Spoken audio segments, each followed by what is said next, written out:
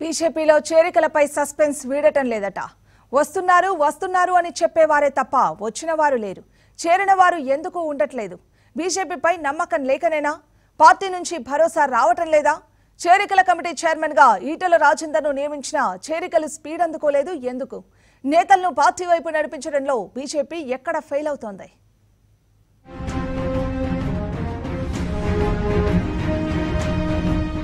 తెలంగాణలో రాజకీయ సమీకరణలు రోజుకో తీరు మారుతున్నాయి. పార్టీలు గెలుపు వైపు చూస్తుంటే నేతలు తమ భవిష్యత్తు కోసం ఆరాటపడుతున్నారు. గెలుపు గుర్రాల వైపు పార్టీలు చూస్తుంటే తమకు టికెట్ ఏ పార్టీ ఇస్తుందని లెక్కలు వేస్తున్నారు నేతలు. ఇప్పుడున్న పార్టీలో టికెట్ ఖాయమేనా? లేదంటే కండువా చేంజ్ చేయాలా అన్న ఆలోచనలో ఉన్నట్టు తెలుస్తోంది. టీఆర్ఎస్లో అవసరానికి మించి నేతలున్నారు. వెళ్తే టికెట్ వస్తుందన్న నమ్మకం లేదు.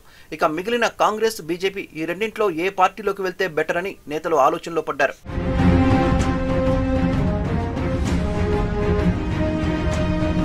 అయితే చేరికల విషయంలో కాంగ్రెస్ దూకుడుగా వెళ్తోంది. రేవంత్ రెడ్డి పీసీసీ అయ్యాక చేరికలపై దృష్టి సారించారు. నేతలకు టికెట్ హామీలు ఇచ్చి మొదట పార్టీ కండువా కప్పేస్తున్నారట. దీంతో టీఆర్ఎస్ బీజేపీలో టికెట్ వస్తుందన్న నమ్మకం లేని నేతలు గాంధీ భవన్ వైపు చూస్తున్నారట.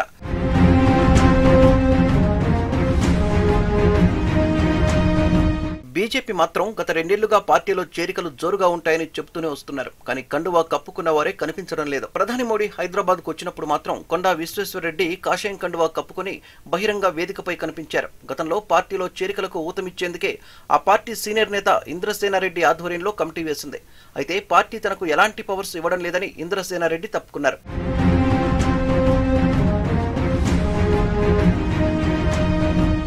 తర్వాత ఈటెల రాజేందర్ కన్వీనర్గా కొత్త కమిటీ వేసింది కేంద్రం. ఇక ఆపరేషన్ ఆకర్ష్ జోరుగా సాగుతుందని పార్టీలో చర్చ జరిగింది. కానీ ఇంతవరకు చేరిక ఫోటోలు కనిపించడం లేదు. ఓవైపు నేతలంతా కాంగ్రెస్ వైపు తరలిపోతుంటే బీజేపీ అధిష్టానం సైలెంట్గా ఉంటుందనే చర్చ కూడా మొదలైంది. ఇప్పటికే టీఆర్ఎస్ నుంచి రాజీనామా చేసిన అనేక మంది మాజీ ఎమ్మెల్యేలు గాంధీ భవన్ మెట్లెక్కారు.